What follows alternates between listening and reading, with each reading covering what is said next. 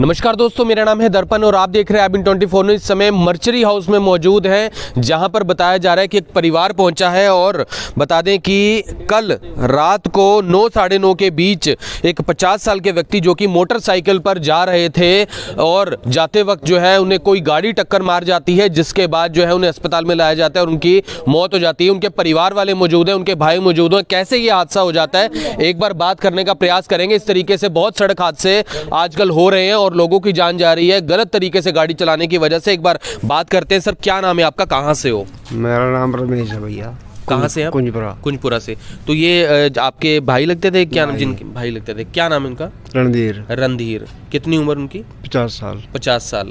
तो कैसे हुआ हादसा? कुछ इसकी जानकारी कैसे लगी आप ये मुझे पता नहीं है क्योंकि हम तो अब सवेरे आए हैं। सवेरे फ़ोन का हमारे पास। ठीक है। हम यहाँ आए बस और तो कुछ नहीं पता। अच्छा अच्छा। तो उन्हें मतलब कौन अस्पताल में लाया? इसकी कोई जानकारी कैसे लड़का उनका अच्छा उनका लड़का। तो उनके साथ में वो अकेले थे या कोई बेट और भी था उनके साथ में? उनको चाचा लड़का ताऊ का लड़का था उसका एक। दो भाई हो गए। अच्छा दोनों बाइक पर ही थे? हम्म। दोनों बाइक पर थे। तो पता मुझे बाइक पर बाइक पर थे, अकेला आ रहा था बाइक के काम से। अच्छा। काम से आ रहा था बाइक पे साढ़े नौ बजे छुट्टी करके वापिस आ रहे थे? वापस आ रहे थे वापिस आ रहे थे। हाँ जी। तो कहाँ काम करते हैं? वो जुनड़ा की तरफ़ करते हैं जी सेलर में। शैलर में जूंडला की तरफ़। हाँ तो वापिस आ रहे थे। तो पता चला किस किस से टक्कर हुई है कैसे नहीं पता लगा जी ये पता नहीं ये चल नहीं पता पाया। उठाया भी एंबुलेंस वालों ने रात को कोई पुलिस वालों ने? एंबुलेंस नहीं जाती जो आपकी ये। अच्छा ये। ये उधर से आ रही थी उसने उठाया बाकी किसी आदमी ने उठाया नहीं। अच्छा और किसी ने नहीं उठाया? हॉस्पिटल में ले गए थे फिर। हाँ यहाँ लिया यहाँ से रेफर करे चंडीगढ़ उन्हें। अच्छा। रास्ते में पता नहीं क्या होया क्या नहीं होया गुजर गया। हाँ उधर कितने वर्ष के थे? पचास। अच्छा सर नाम क्या बताया उनका? रणधीर। रणधीर नाम बताया। बच्चे कितने परिवार भी उनका हाँ। हाँ जी बच्चे तीन बच्चे हैं। तीन लड़के हैं तीन लड़के हैं। कहाँ के रहने वाले थे? शिव कॉलोनी। शिव कॉलोनी गली नंबर नौ।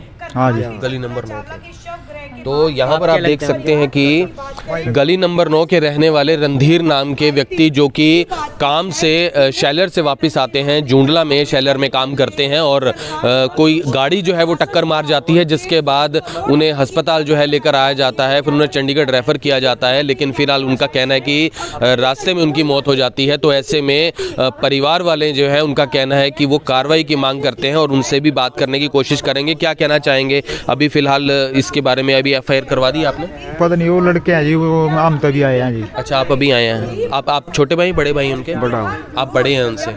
तो क्या कहना चाहेंगे कार्रवाई के लिए जिस तरीके कार्रवाई का मुझे नहीं पता। अभी क्या करना है क्या नहीं क्या क्या बताएँ बताओ। बोल बोलो क्या कर सकते हैं? नहीं जिस गाड़ी ने मारा है तो उसके लिए कार्रवाई की मांग करते हैं नहीं करते यार अभी क्या क्या क्या पता ही नहीं है कौन है? छोटी गाड़ी है बड़ी गाड़ी है उसको क्या मांग करेंगे हम?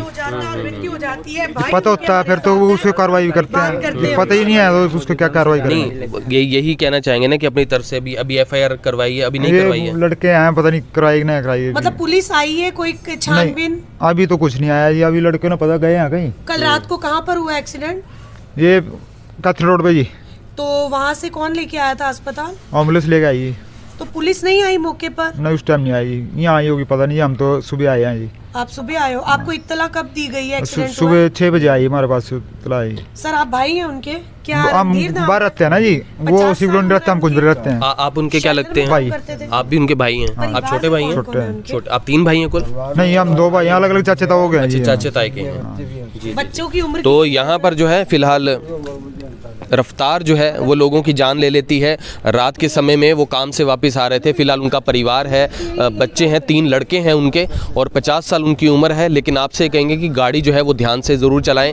कल भी हमने आपको दिखाया था किस तरीके से तेज़ रफ्तार की वजह से एक 18 साल का जो युवक है, उसकी मौत हो जाती है। तो फ़िलहाल इस तरीके से रफ्तार से गाड़ी चलाने से, क्योंकि ज़्यादातर जो मामले हैं, वो गलत तरीके से गाड़ी चलाने की वजह से ही जो है, लोगों की मौत होती है, इस तरीके से हादसे होते हैं। तो आपसे पहले इस वीडियो को ज़्यादा से ज़्यादा शेयर ज़रूर करें। फ़िलहाल मर्चरी हाउस में जो है बॉडी लेकर आई गई है और पोस्टमार्टम के बाद परिवार को सौंप दी जाएगी। फ़िलहाल जो है पुलिस जो है, पुलिस के अंदर एफआईआर जो है परिवार वो दर्ज करवाएगा, क्योंकि वो सुबह उनको खुद ही इतला इसके बारे में मिली थी और एंबुलेंस ने रात को उन्हें ऑन द स्पॉट जहाँ पर वो गिरे थे वहाँ से उठाया था। लेकिन फ़िलहाल जो है परिवार यही कहता नज़र आ रहा है कि वो कार्रवाई जो है उसकी मांग करते हैं कि, यानी कि पता चल पाए कि आखिर कौन सी गाड़ी जो है जिसने टक्कर मारी है।